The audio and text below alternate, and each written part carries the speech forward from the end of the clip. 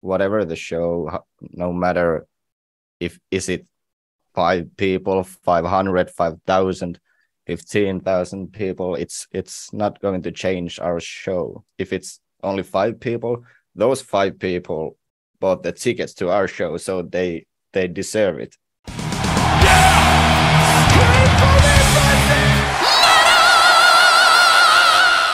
Hey everyone, welcome to the channel. My name is Belgian Jasper. If this is your first time in the channel, hit subscribe right now.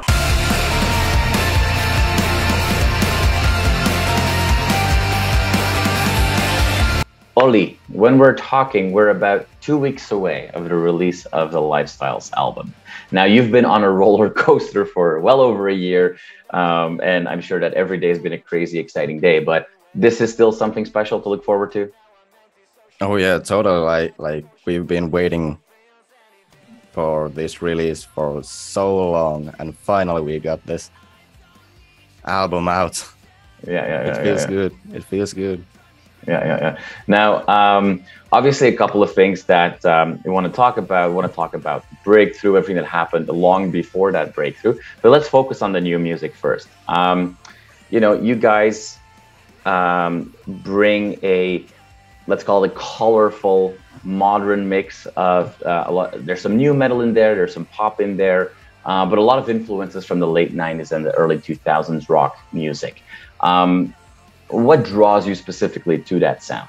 Is it pure nostalgia from when you were a kid?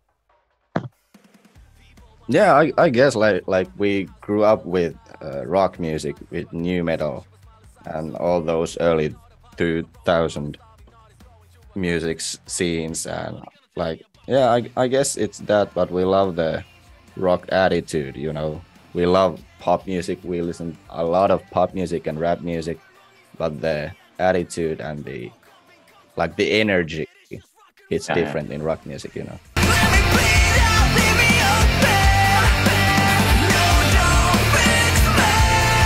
now that energy that you talk about in in this music and also in your music specifically when i think about songs like um, alive or only burning um, is actually that bass guitar and is that is that rhythm section. Is that something that you've always wa- is that something you was gravitated towards when you were you know discovering music as a kid? Did you want to be part of that rhythm section or how did that how did you end up with the bass guitar? Oh, I ended up uh I don't know I don't remember how old I was but I we had this school concert. Yeah. And there was uh this guy playing the bass and the whole room was like br- drumming you know? And like everybody's like I can feel it in my chest and stuff Yeah, like yeah, yeah. that so I was like I want to do that like yeah yeah yeah. there's so much like power and like physical movement in the Yeah, yeah, yeah. bass guitar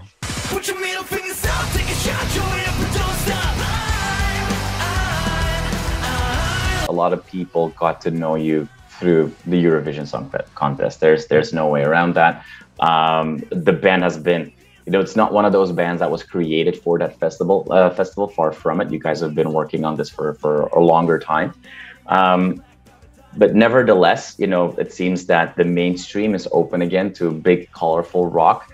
Uh, we see that with you guys. We see that with in Germany, Kissin' Dynamite. In the States, with Tempt. You know, there, there's more and more of this going on. Um, that also is a double-edged sword, uh, and I think you guys sing about that in, you know, "Thank You for the Pain." Um, you know, the closing song, I think, of the album. Um, Is it? Yeah. How tough is that as a guy that's been working his ass off for many, many years? That people kind of look at you and go like, "Oh yeah, okay, Eurovision Song Festival was a hit, and all of a sudden these guys are popular." Um, is that tough to deal with this early in your in your career still? No, I don't think so. Like, uh, like those comments doesn't get under our skin, you know. Like, Mhm. it's been eight years of hard working, so our skin is Yeah. pretty thick.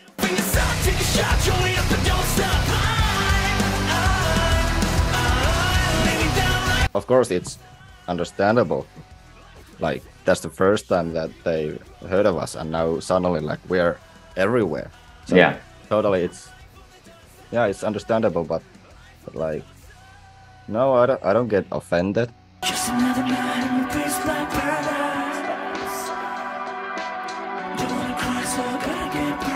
You are becoming quite a household name in Finland, but as you're now trying to get that momentum across Europe, across the world, um, it making that reset. Yeah, you said before, you know, we've got pretty thick skin, so we don't worry too much about people calling us an overnight sensation or what have you. But you're gonna have to start that journey, not necessarily from all the biggest stages in the world. Um, is making that shift, that that that reset where you say like, you know, keep our feet on the ground. We're gonna now play some smaller venues when we go to North America, to South America. Is that it, it, is that a conversation you guys having proactively in the band? Like, hey, let's let's be ready for that. Yeah, like when we when we got the confirmation that we're going to the US, we knew that it's going to be kind of like back to roots. Yeah, yeah, yeah. Yeah, like being the underdogs again. And yeah, but like we've always had this like thought that whatever the show, no matter if is it five people, 500, 5,000, 15,000 people, it's it's not going to change our show, you know. Yeah, yeah. We always wanna want to push the 110% for the show because even it's if it's only five people, those five people bought the tickets to our show, so they they deserve it.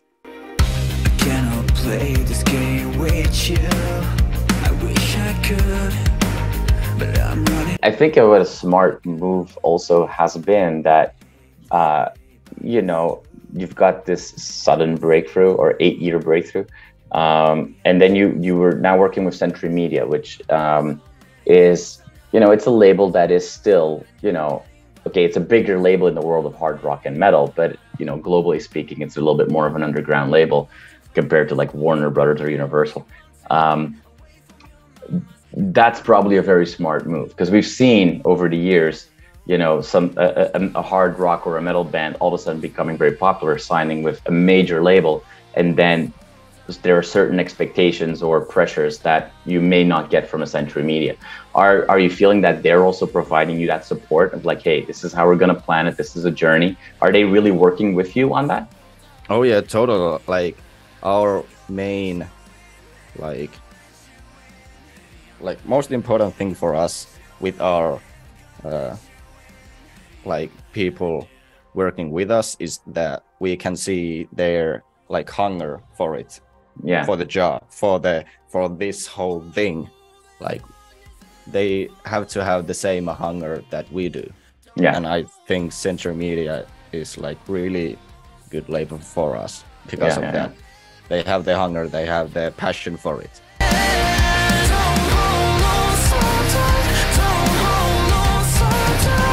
Hey, you mentioned already. Um, we're gonna play more stuff. It doesn't really matter if it's gonna be five people or five thousand people. Um, and you're also talking about, you know, you kind of love that late '90s, early 2000s rock music that you grew up with. So put those two things together, and you get to play N- Knotfest with Slipknot, is that just like a, you know, your kid's dream coming through? Then, ki- it kind of is, I guess. Like very many of us, ha- like Slipknot is the band of all times for us. Like yeah. it, it feels good. It's it's nice. Yeah, yeah, yeah.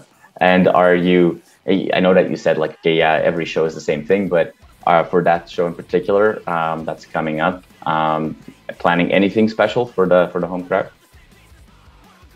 Yeah, like it's going to be our festival production.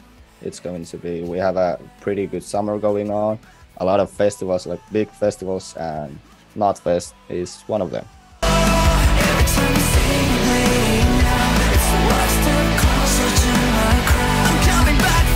Uh, we have one weekend this summer that we are playing. Uh, there's a like metal festival called Tuska in Helsinki, and there's a festival called Weekend Festival, and Okay. that's Tuska is metal festival, and the weekend is like more like electronic music, like and a lot of rap music there.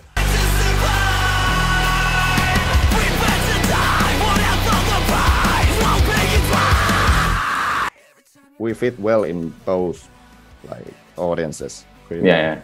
Would you slightly because you've got harder songs, you've got a little bit more like electronic songs. Would you change your set list at all for those two festivals? It's like no, this is this is the real us, and uh, you get it regardless if you wear uh, a colorful T-shirt or a battle vest with metal patches on it. No, it's going to be a blind channel show.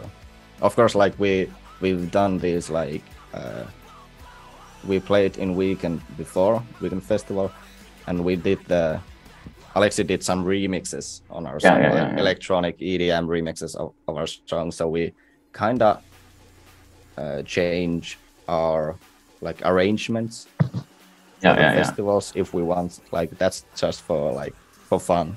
yeah, yeah, yeah. Yeah, it's going to be a full blind channel show for sure. Yeah, yeah, yeah. Now, Olli, you come across as somebody that is extremely grounded and pragmatic, and um, so wanted to ask you. I think, if I remember correctly, you've got a tattoo of a sextant on your arm. Oh yeah, yeah, yeah, I do. Is that like for you, like the always a reminder of no, no matter how crazy the situation is, to always kind of keep your bearings and look straight ahead? Yeah, yeah, like know where you are and where where are you headed. Like check the stars, you know.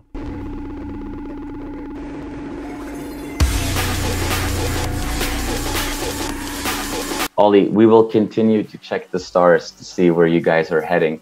Um, and uh, I think a lot of people, obviously, a lot of people heard a lot of singles already, and they've been doing extremely well.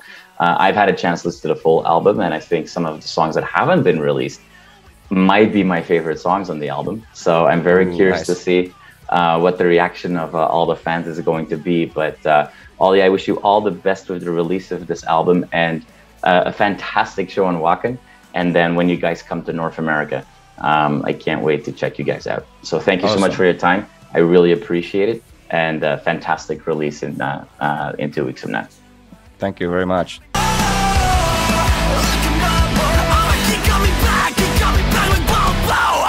You are awesome for watching this video. Click right here to see more content like it and subscribe to the channel.